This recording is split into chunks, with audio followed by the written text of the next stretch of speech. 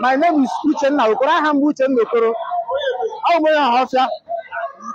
Yes. Ah, obi dị m ụtọ ịba n'ime obi m ugbu anyị ga-ewepụta ugbu you n'izu ndị ndị white ahụ. So obi dị m ụtọ well well. Anyị ihe mere obi ji dị m ụtọ a na-eme before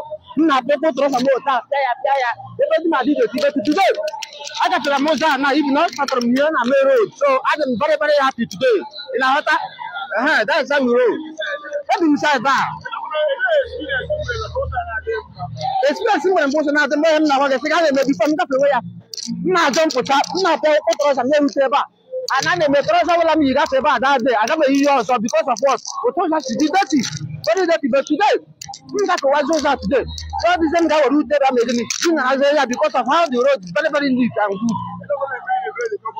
m na-ekpere the governor of Abia State our new governor that let him keep it on because ọwụ ụzọ ma mma agaghị ugboro abụọ otu a o mere ihe a na ee